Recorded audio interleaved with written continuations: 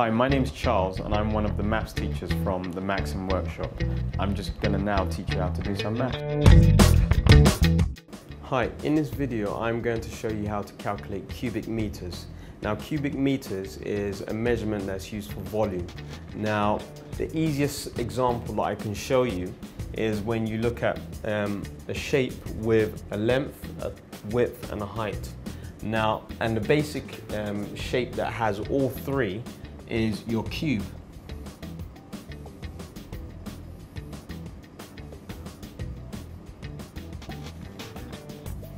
Indeed, you could draw a rectangle, cuboid, um, but for this purpose, it will be easy to show you how these measurements relate. So, I mean, with your cube, it's interesting to see that um, it's just like a square, but in 3D. So, if you have any one side as 4, then all other sides have the same value. So 4, 4, 4.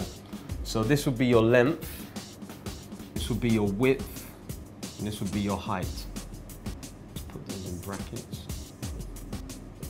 Now the units that we're going to use for this is centimeters. But um, I'm going to show you obviously how to change from centimeters to cubic meters, okay? So first of all, we want to change these measurements into um, a value for the volume in centimeter cubed, okay? So we have um, your four centimeters. If we want to change that into meters, then all we have to do is divide by 10, okay? So where we had four centimeters, we now have 0.4 meters. Okay, so all it is is a division of 10 to go from there to there. So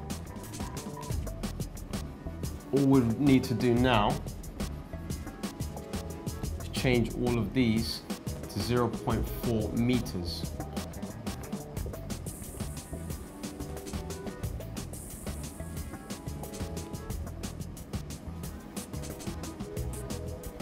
Okay, now your basic volume equation is length times width times height, okay?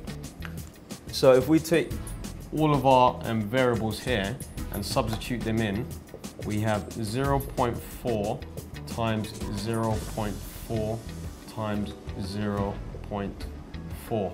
Now all you have to do here is just think about what 4 times 4 times 4 is and then bring in the zeros afterwards. So we have 4 times 4 is 16 um, times another 4 is 64.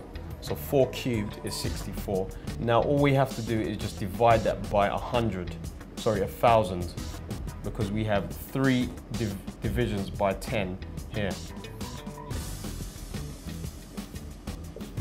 And that means that we take the decimal point over three times. So we're gonna need 0.064 meters cubed. Now remember, this is your measurement for volume in cubic meters.